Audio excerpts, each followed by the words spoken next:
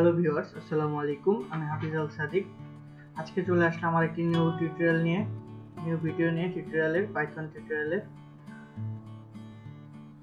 গত টিউটোরিয়ালগুলোতে আমরা ভেরিয়েবল এবং ডাটা টাইপ নিয়ে জেনেছি। আজকে ওই, আমাদের ওই জ্ঞানটুকু থেকে আমরা কিছু ছোট ছোট প্রোগ্রামিং লিখে নেব। প্রোগ্রামিং করে করে দেখব আজকে। আচ্ছা তো আজকে কথা না বাড়াই, চলুন চলে যাই সরাসরি পাইথন আইডিয়ালিতে এখানে আমরা আজকে একটা এ টাইপের একটা ভেরিয়েবল দিলাম ভেরিয়েবল মান দিলাম পাঁচ। বি টাইপের একটা ভেরিয়েবল দিলাম ভেরিয়েবল মান দিলাম দশ। আচ্ছা এই এই দুটো ব্যাপার তো আশা করি যে সবাই বুঝতে পেরেছেন যে আমরা এখানে একটা ভেরিয়েবল নিলাম ভেরিয়েবল ভ্যালু নিলাম। আচ্ছা তো এখন যদি আপনাকে বলা হয় এ এবং বি ভেরিয়েবলকে যোগ করুন, তাহলে কি হবে? এ যোগ বি তাহলে অ্যান্সার কত হবে? পনেরো। দেখতে পেয়েছেন? এটা হলো এডিং মানে যোগ করা। প্রোগ্রামিং দিয়ে যোগ করা, দুটি সংখ্যার যোগ। আচ্ছা এখন যদি সি ইকুয়াল টু ফাইভ হয়, তাহলে যদি বলা হয় আপনাকে তিনটি সংখ্যার যোগ করুন, তাহলে A plus B plus C দেখুন, তিনটি সংখ্যার যোগফল বিশ। চলে এসেছে। আচ্ছা।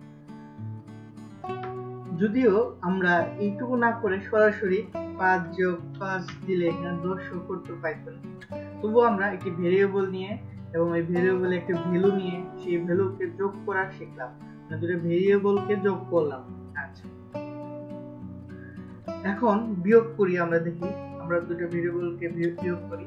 আমরা বি থেকে সি কে বিয়োগ করব। তাহলে B minus C equal to five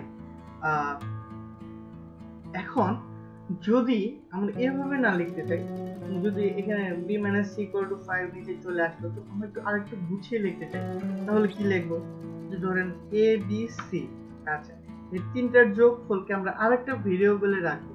D number ভেরিয়েবলে আমরা এ এর মান বি এর মান এবং সি এর মানের যোগফলকে আমরা ডি নাম্বার ভেরিয়েবলে রাখব। দেখুন ইন্টার দিলাম। এখন আমরা প্রিন্ট করব কাকে? ডি কে। ডি কে যখন আমরা প্রিন্ট করব, তখন আমরা যোগফল দেখতে পাইতেছি কি 20 আচ্ছা এখানে কি করলাম? এখানে আপনাদের একটু প্রশ্ন আসতে পারে যে আসলে এটা কি করা হলো। আমরা এখানে দেখতে পাইতেছিলাম a plus b plus c a plus b plus c দিলাম আমাদের কি আসতেছে 20 তার মানে a plus b plus c এর মান কত? 20 আচ্ছা এখানে আমরা বললাম যে a plus b b plus c এর মান হলো 20 আচ্ছা তাহলে d জমা রাখবে কত? 20 তো যখন আমরা প্রিন্ট d করব, তখন সে তার মানটা দেখাবে। তো সে 20 মানটা দেখাচ্ছে। যদি এখন আপনাদের প্রশ্ন আসতে পারে যে যদি একটা, আমরা যদি একটা ভেরিয়েবল ডিক্লেয়ার না করতাম, যেমন A plus B plus E E নামে কোনো ভেরিয়েবল আমরা ডিক্লেয়ার করিনি। দেখুন তাহলে আমাদের একটা ইরোর আসবে যে E not E is not define মানে ই নামে কোনো ভেরিয়েবলকে আমরা কলই করিনি। সো যেহেতু এই ই এর মান আগে নেই সেহেতু আমরা ই কে কোথাও রাখতে পারব না। এখন সে একই একই ব্যাপার আমরা বিয়োগ করব একই ভাবে আমরা বিয়োগ করতে পারি। যদি লিখি d equal d equal to b minus a print d, তাহলে দেখি পাঁচ, সঠিক অ্যান্সার চলে এসেছে। আচ্ছা গুণের ক্ষেত্রেও তাই। যদি আমরা বলি d equal to a into b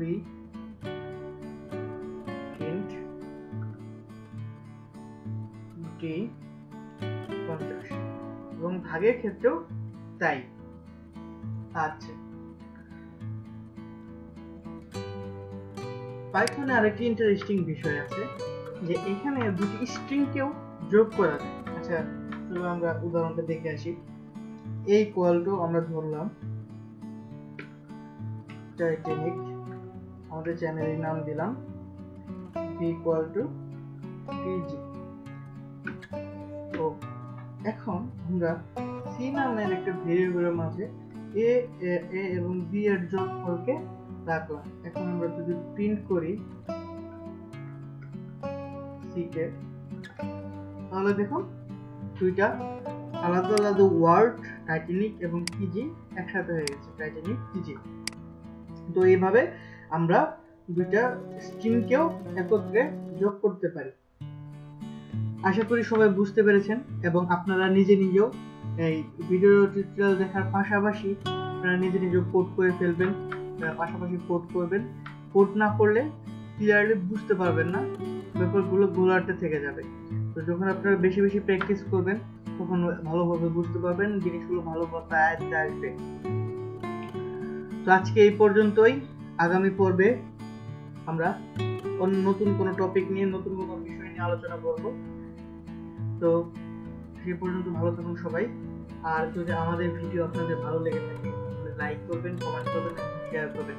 ও আরেকটি কথা, যদি ভিডিওতে কোথাও কোনো জায়গায় বুঝতে সমস্যা হয়, সেই জায়গাটুকু টাইম মেনশন করে কমেন্ট করবেন যে আপনি ওই টাইমটুকুতে বুঝতে পারেননি। ওই জায়গায় ওই টাইমটুকুতে বা ওই টপিকটুকুতে বুঝতে পারেননি।